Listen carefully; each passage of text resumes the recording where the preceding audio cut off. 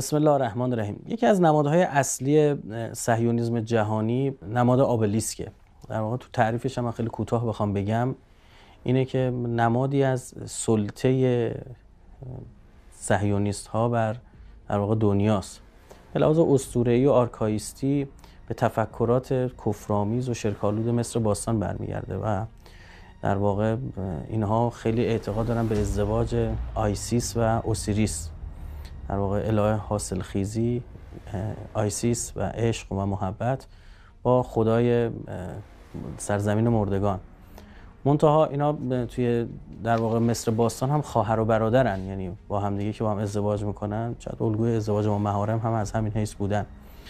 محضر شما عرض بکنم که برادر دیگه آیسیس و اوسیریس ست اوسیریس برادرش میشه رو از بین می‌بره و می‌کشه.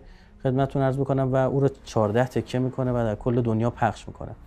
آیسیس که متوجه میشه با خواهر دیگه نفتیس میاد تا در واقع تکه های بدن اوسیریس رو پیدا کنه و به هم بچسبونه. تمام تکه های بدن رو به هم میچسبونه و عذر می‌خوام محضر شما آلت جنسیش رو نمی‌تونه پیدا بکنه.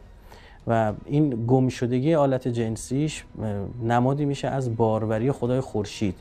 و این نماد آبلیس در واقع همین میشه که حالا صهیونیست‌ها این رو با این تفکرات واقعا مشمئز کننده و کفرآمیز رو نمادی کردن که هر جا بخوان در واقع سلطه خودشون رو نشون بدن استفاده می‌کنن.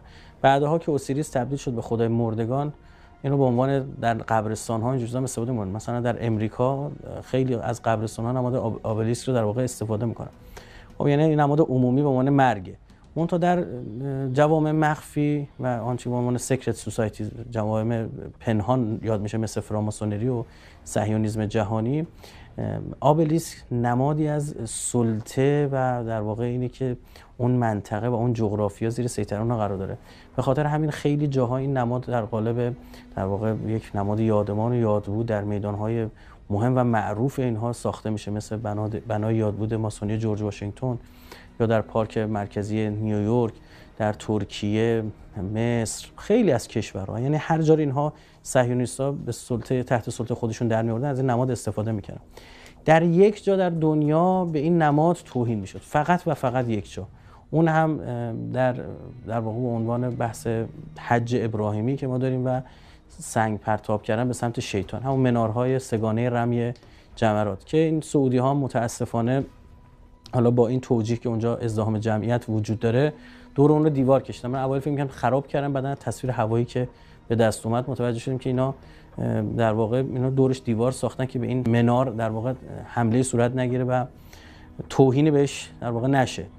در طبعا در راستای اوامر صهیونیستا بوده دیگه. و الا من حتی در این هم ایرادی نمی‌دیدم که این دیوار اگه دیوار ساختن لاقل روی دیوار بازم تصویر آبلیسک باشه. یعنی تصویر منار باشه که مردم به لحاظ بصری ببینن به چی دارن سنگ می‌زنن و چه چیز رو نماد شیطان می‌دونن. خب اگر این الان حذف شده به لحاظ بصری چند سال پیش بود از در واقع دانشجوها و بزرگوارانی که حالا غیر دانشجو که تو سخنرانی ما میومدن خواستیم گفتیم آقا حالا که اومده این کار کردن؟ ما در راهپیمایی های خودمون و تو این کارناوال هایی که داریم و تظاهرات هامون این نماد آتیش بدید که الحمدلله خیلی خوبم گرفته. جوری شده که الان شما در گوگل سرچ می‌کنید وای ایرانیان تا می‌رسید چرا ایرانیا بی بیو می‌نویسید میاد برنابلیست چرا ایرانیا آبلیسک آتیش میدن؟ و این سوال شده برای مردم دنیا. وقتی با همین توضیحات مواجه میشن متوجه میشن که چقدر خوب این کار.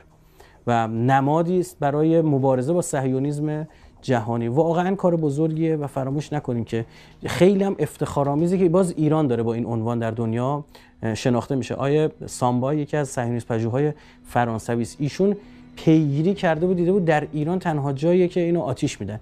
ایشون بلند شد آمد ایران و پیگیری کرد که دیده بود این ایده بنده است. اومده بود ایران دو سه مرتبه هم دفتر ما اومد. جلسه با ما گذاشت که آقا شما چطور به این مطلب رسیدید که تو این کار به مهمی رو دارید انجام می‌دید؟ کاری که شما دارید انجام می‌دید 50 سال دیگه مردم دنیا خواهند فهمید چقدر با اهمیت بوده و چقدر شما ایرانیا پیشروید خب حالا این فرصتی به وجود اومد من پارسال چهار ولی است فکر کنم یا روز قدس بود یا 22 بهمن بود. راهپیما 22 بهمن بود. داشتم رد می‌شدم. چند تا از این آبلیسکا گذاشتن و یه جوانی هم ایستاده به خود منم نشناخت. چند تا سنگم به من داد. گفت به اینا سنگ بزن. وقتی هم که سنگ زده من همونجا وایسادم و بعدش هم اونجا آتیش دادن. خب که این خیلی جالب بود برام حتی بنده رو نمیشناختم همون ایده رو داشت در واقع انجام می‌داد. خیلی خوشحال شدم. و یک مراسم خیلی بزرگی هم در واقع گرفتن. من پیشنهاد می‌کنم که حتما این کارو بکنید و حتما الان با, همه گوشی ها واقعا می‌تونه این در واقع امکاناتو داره می‌تونه ضبط بکنه با کیفیت خیلی خوب. فیلم بگیرید فیلم یه دقیقه 20 ثانیه چه می‌دونم دو دقیقه سه دقیقه. بگیرید تو شبکه‌های اجتماعی جهانی پخش کنید نه فقط تو تلگرام. تلگرام بسته است. توییتر فیسبوک یوتیوب همه جا تا جایی که می‌تونید پخش کنید. عکس بگیرید عکسی که می‌تونید بگیرید. بذارید و بگید آقا ایران تنها جایی است که نماد شیطانی و صهیونیستی رو با آتش می‌کشه. با توجه به اینکه ممکنه خب این آتش سوزی و خدای نکره خطراتی هم داشته باشه خیلی خوبه که عزیزان برای این کار حتما برن مجوز تهیه بکنن با آتش نشانی هماهنگ بکنن که با خدای نکرده بالاخره ممکن بادی بزنه اینها رو پخش و پلا بکنه این طرف اون حادثه هم پیش نیاد. الحمدلله تو این چند سال 4 5 سالی که داره انجام میشه هیچ حادثه نبوده.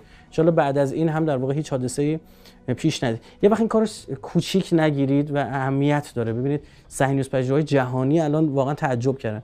و همین پیرار سال بود. پارسال هم پیرار سال بود که در میدان جمهوری فرانسه خود فرانسوی ها به تأثیر از مردم ایران اومدن آبلیسک آتیش دادن.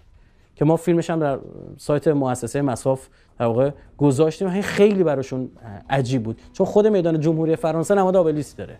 نحوه ساخت و تمام مسائل مرتبط با این در مراسم آبلیس سوزی رو هم دوستان در سایت و کانال مؤسسه انشالله بر استفاده شما قرار خواهند